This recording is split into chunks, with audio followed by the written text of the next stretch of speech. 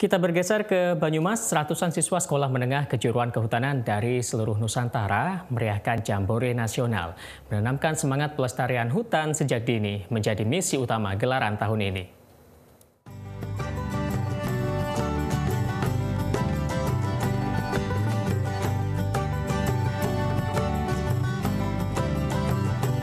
Menjelajah hutan, mempelajari karakter pepohonan, hingga beradu kreatif ciptakan herbarium.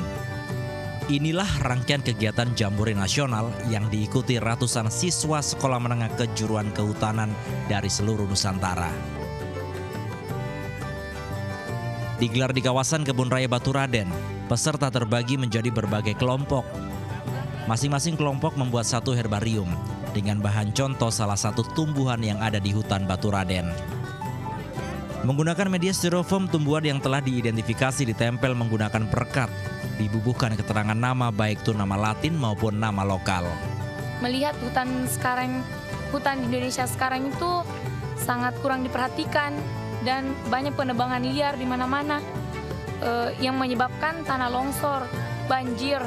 Jadi saya sebagai penerus bangsa eh, akan memperbanyak lagi menanam pohon agar semua bencana-bencana alam itu uh, terhindar dari kawasan Indonesia. Bukan tanpa alasan pembuatan herbarium bertujuan agar para siswa dapat lebih mengenal jenis tumbuh-tumbuhan yang ada di hutan. Media herbarium nantinya diharapkan dapat diaplikasikan di kehidupan sehari-hari oleh masyarakat. Seperti yang juga Kutanan sampaikan bahwa satu orang menanam 25 pohon. Mulai dari lahir sampai dia mulai kawin atau mau meninggal itu harus minimal dia punya kewajiban menanam pohon 25 pohon itu yang yang yang harus kita juga terapkan. Ini kegiatan nggak boleh nggak bukan main-main.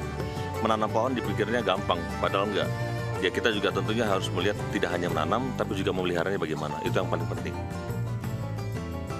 Jambore Nasional SMK Kehutanan berlangsung lima hari hingga Jumat 24 November mendatang.